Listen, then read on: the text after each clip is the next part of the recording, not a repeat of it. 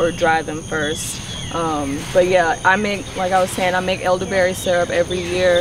Um, I have to make large batches because all the family requests the elderberry syrup. Um, but yeah, great for cold and flu season.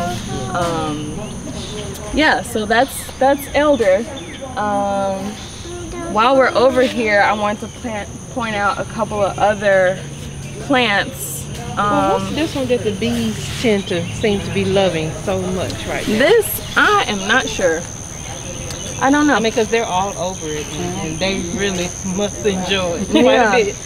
I'm not entirely sure. Some of this stuff is, are just things that we found either growing like randomly in the garden, and we're like, hey, we like that. Let's just put it over Yeah, here. that's it. That's exactly how I am. When something unique grows up in my Mhm. yard, I'll pick it up and put it in a pot or move it to Yeah. the Where- other where side. the bees Yep.